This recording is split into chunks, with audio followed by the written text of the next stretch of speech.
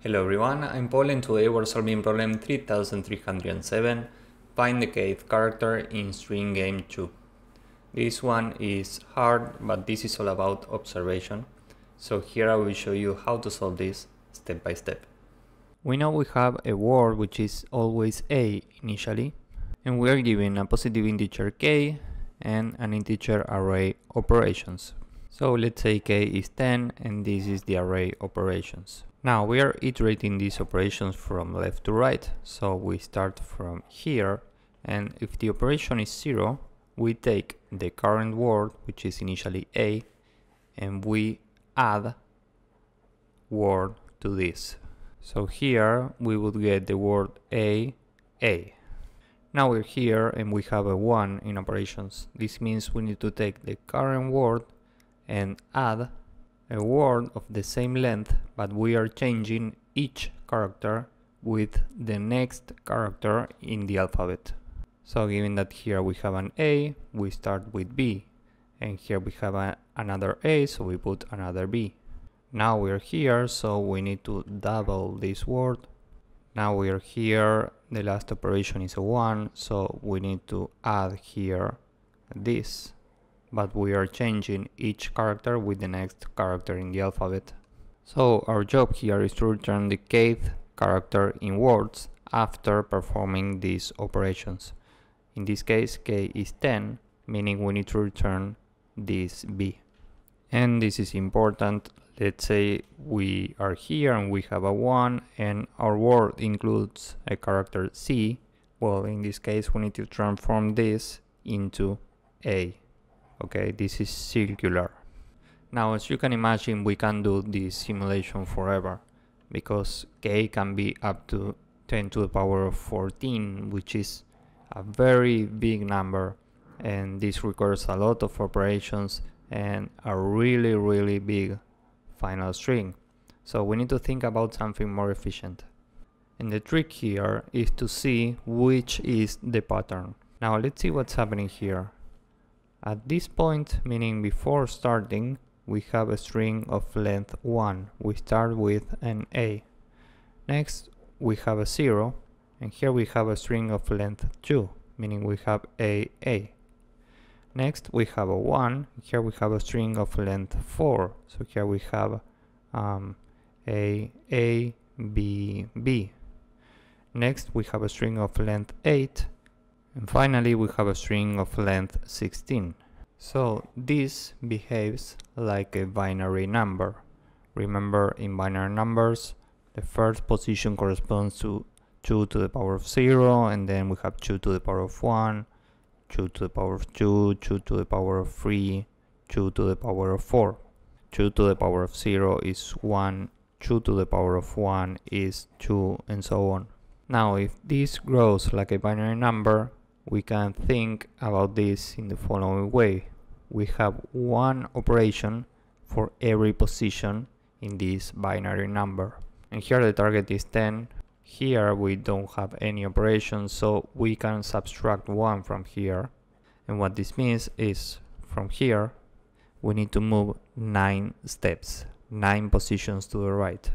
Now 9 in binary is 1001 and here remember we are seeing this binary number in reverse because remember position 0 in binary is always to the right.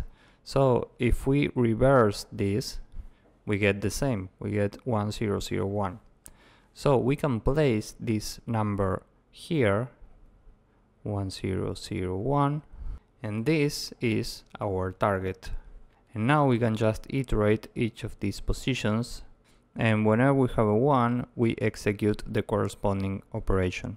So the approach will be the following. We will have a number, we'll call this result, this is initially 0, and this will give us the amount of times we need to transform the character A into the next character in the alphabet and we'll update this result every time we see a 1 in target and a 1 in operations. So we start here and Here we have a 1 in the target, but we have a 0 in operations, so we continue. Next we have a 0 in target, so we continue. Next we have a 0 in target, so we continue. Finally we have a 1 in target and 1 in operations, so we add 1 to the result. Now we reach the end here. So what this means is we need to transform the initial character A one time. So we transform A into B and we return this. So just to be clear, the original string A grows like a binary number and we are taking K and we subtract 1 to get the amount of positions we need to move from the first position, from position 0 actually, and this is how we get our target in binary. And then we are checking which bits are 1 in our target and also 1 in operations. We add that amount of bits to the result and then we just update the initial character A that amount of times. Time complexity for this will be big O of log k and space complexity will be big O of 1. So now let's go with the code and hopefully you will get the idea. First we subtract 1 from k, so k minus equal 1. And now we need to get the amount of bits in k. And we have two ways to do this. One is to use the Python function k dot bit underscore length and this works but I want to show you how to do this manually. First we can copy k so we store this into a variable which we call num. Next bits equals 0 and while num num divided equal 2 and we add 1 to bits. And this will go on and on until num is 0 now result is 0 and for i in range bits. If k right shift i bitwise and 1 so we are taking the rightmost element from k in binary. Why are we taking the rightmost element and not the leftmost element? Because remember that positions in binary go from right to left. Position 0 is to the right. So we are checking from right to left. Whenever we have a 1, we add to the result operations at i because remember that the order for operations go from left to right. And finally we need to return result modded by 26 because we have only 26 characters in the alphabet. Um, and this we need to add this to ord a.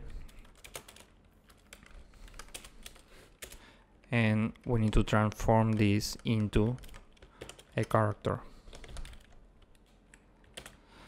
So this is it for the code. Now let's submit this and see if it works. As you can see this works and it's very efficient. So if you found this useful please drop a like subscribe and see you in the next one. Bye bye